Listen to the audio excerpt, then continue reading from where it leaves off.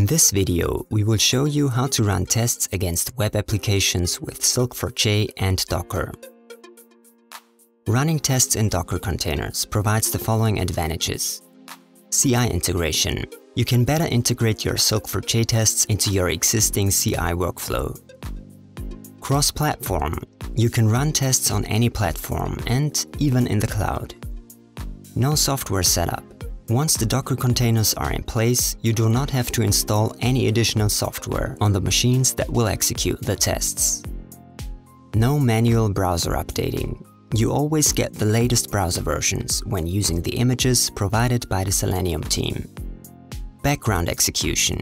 You can run the tests in the background while working on other things. Silk4j supports the following three scenarios.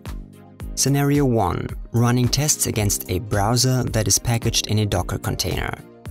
The OpenAgent and the test executor are running on your local Windows machine.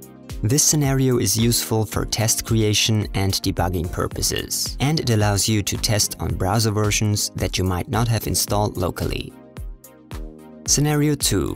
Running tests against a browser that is packaged in a Docker container through an open agent that is running in another Docker container. The browser and the open agent communicate with each other through a Docker network. The test executor is running on your local Windows machine. This scenario could be used to debug automation issues. And scenario 3, running tests entirely from Docker containers. The test executor, the OpenAgent, and the browser run in three separate Docker containers. They communicate with each other through a Docker network.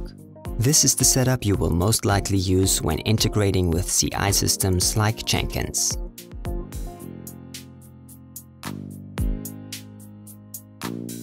Silk4j provides a basic Docker image named functional testing slash silktest.